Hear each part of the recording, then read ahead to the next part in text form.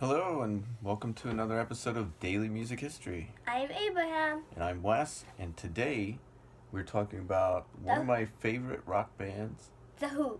The Who. That's exactly right. And what do you know about The Who, Abraham? Um, they had a competition with the Beatles. They did. They did. What was that competition about? Do you know? Who could sound the heaviest? Who could sound the heaviest? Now, on an individual song, it could have been the Beatles. But overall, definitely The Who. I think. I think. So yeah, they are one of my favorite all-time bands. And on today's date, which is December fifteenth, the in nineteen sixty-seven, the Who released their third album, The Who Sell Out.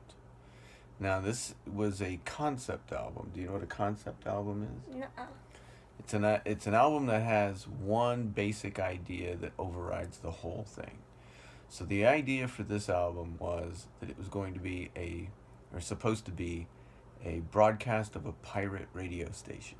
So do you know what a pirate radio station is? It's a radio station that the pub that the government did not say could be on a radio station. That's exactly right. It's a, it's an illegal radio station. And now why they call it a pirate one, I have no idea, but it's a cool name. Pirate radio and it station. and it it, it is an illegal uh, radio broadcast or radio station. So in the midst of this album, you have commercials for things like Heinz Beans, which is a, a you know a company that makes canned beans, and that resulted in the Who actually being sued uh, by some of these for using real commercials in their in their uh, broadcast.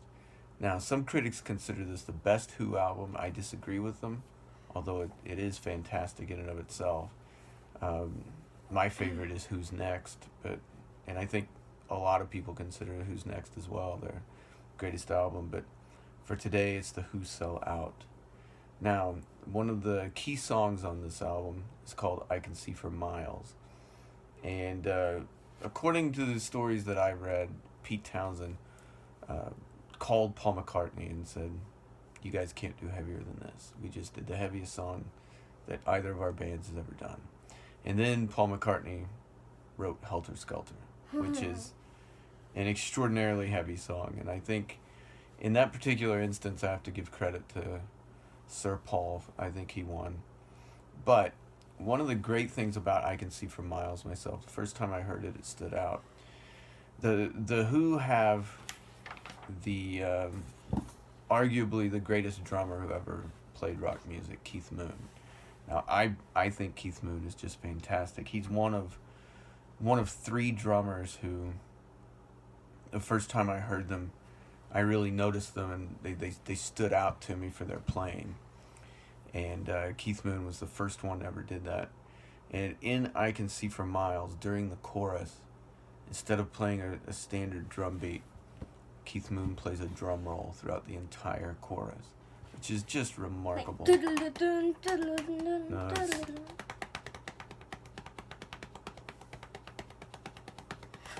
throughout the entire chorus. It's just remarkable. And it, you, you know, you think of a chorus that a, a chorus with a, a, a good steady hard drum beat should really drive a song. And that is exactly what happens. It, it just propels the song out of this world. And that's one of the things about Keith Moon. He was always, you know, it drives some people crazy, but I love it. He's got drum rolls everywhere. He, he puts drum rolls where no other drummer would even think to do them. And that to me is one of the things that makes him fantastic.